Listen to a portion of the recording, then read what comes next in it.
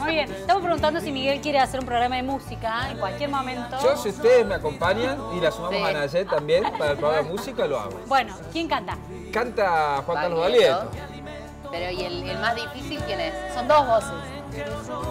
A ver, está en primer plano la de Baglietto. A ver. Ay, ay, ay, otra vez que tiene esa voz. Sí, sí. Muy, muy de Cosquín, muy de Cosquín. Eh, ¿De Cosquín? No. No. Folclore, a ver, sí. el rally. No, no, no, rally no. No, no, me tan rindo, me rindo, me rindo. Es nuestro querido Jairo. Ah, voz. ¿Y la canción cómo se llama? ¿Cuándo? Ah, perdón, perdón. No, está bien, ¿Cuándo de bien. Fandermole? Claro, es de ahí la, la trova rosarina, el temazo. Muy bien el Santi, difícil. Bueno, difícil, difícil. Nayet, bienvenida, ¿cómo estás? Gracias. Bueno, muy después de tanto viaje dijimos, venga bien. rápido, venga rápido a darnos acá una estamos de vuelta. ¿eh? Bueno, pusimos nosotros como título Asado, Mentiras y Veto. Un análisis sobre la última encuesta de opinión sobre la gestión de Javier Milei. Pasado pago.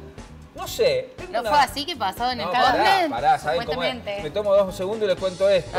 Dijeron, hicieron la foto de los diputados. El problema es que si eso ocurrió, puede estar cometiendo un delito. ¿Por qué? Porque hay que ver qué empresa contrató entonces el gobierno, la Casa Rosada, para que vaya a brindar el catering. Y si Ah. es así, hay que mostrar la factura y mostrar si fue licitación o compra directa. Claro, ¿y a quién le fue la plata? ¿Y Si a no? quién le fue la plata? Ahora, si la, si la carne salió de la heladera de Olivos, no pasa nada y lo pone directamente al O sea presidente. que por hacerse los cancheros capaz estos peor. que son los héroes, de 87 héroes que tenemos, van a tener que entonces saber o a dónde fue esa plata o si hicieron la mímica para hacernos creer a nosotros estaban pagando. Porque si no se muestra la factura, pues es un delito. ¿eh?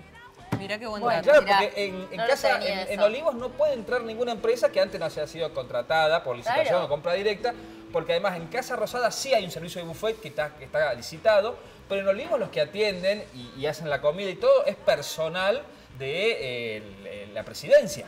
Bueno, datos extras que son importantes, pero que hoy con la realidad que vivimos Argentina y argentinos es eh, complicado abordar y ver un asado para personas selectas. ¿Quién lo, quién lo pagó? ¿Quién, eh, ¿Qué empresa entró? Y el además motivo. el El motivo. Claro, el motivo. Claro. El El motivo motivo y el contexto. El contexto acá es lo determinante. Si estuviésemos con la política haciendo un asado en un proceso virtuoso de crecimiento de la Argentina, sería una cosa. Acá están haciendo un asado celebrando que le negaron un aumento de 13 mil pesos a los jubilados. En un contexto de altísima polarización y donde el gobierno pareciera no tener más resultados para mostrar que la desaceleración en los niveles de inflación y con 50% de pobres.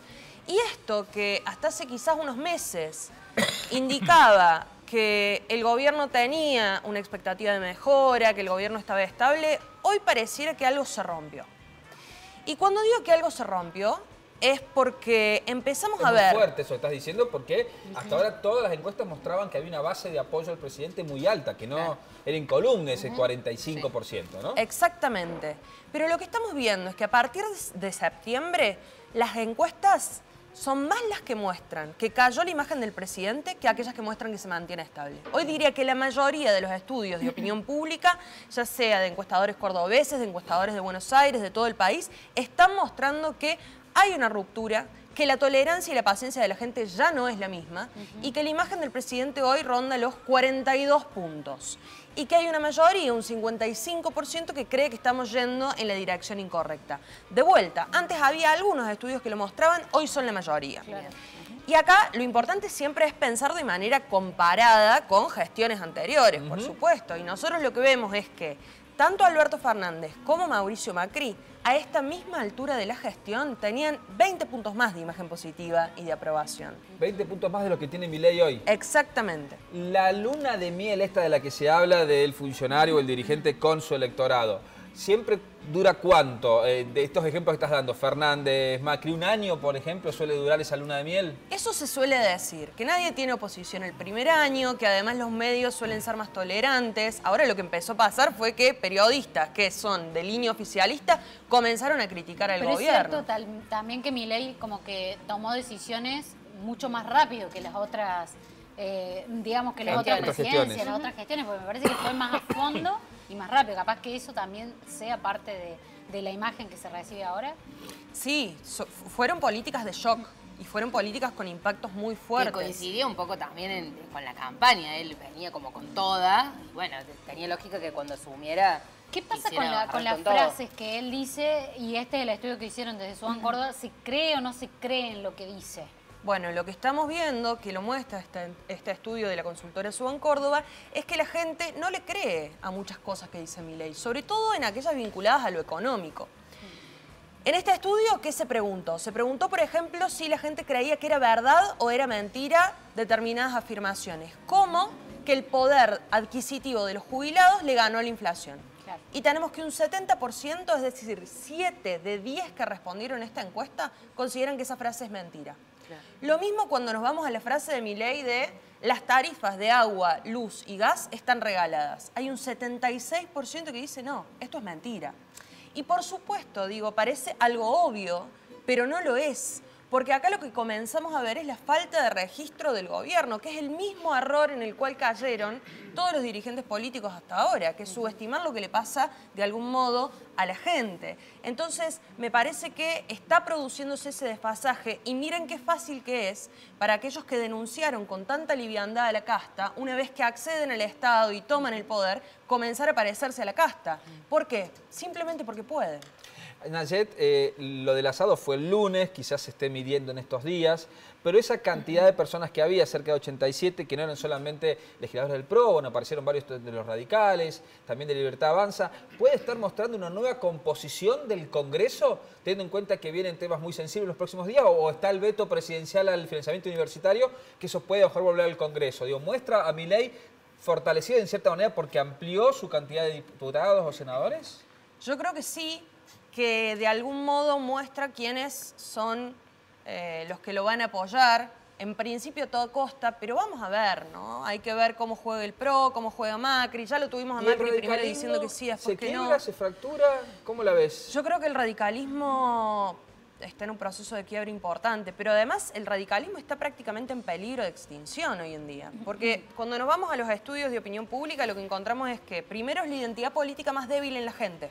Claro. Es decir, prácticamente es muy pequeño el porcentaje de la población que se identifica como radical. ¿Más que el PRO? Es menos que quienes se identifican con quizás un partido más de derecha, por Claro. ejemplo. Menos, por supuesto, que quienes se identifican como peronistas y también muchísimo menos que quienes se identifican como liberales o libertarios. Claro. Entonces, eso por un lado. Por otro lado, este proceso de fractura interna y, y además diría, bueno, eh, han mostrado en las elecciones nacionales que no tienen un caudal importante de votos. Sí juegan a nivel local, municipal, provincial, pero creo que están con un problema muy serio dentro del radicalismo donde, bueno, se va a tener que dividir porque esto de jugarla de centro y de, no entender bien a dónde están parados, lo que va a producir posiblemente el año que viene es que quien está a favor del gobierno va a ir a votar una lista del gobierno. Y quien esté en contra del gobierno o enojado, posiblemente no vaya por una opción moderada, posiblemente vaya por una opción más radicalizada. O sea que esa ancha avenida del medio se va angostando mucho.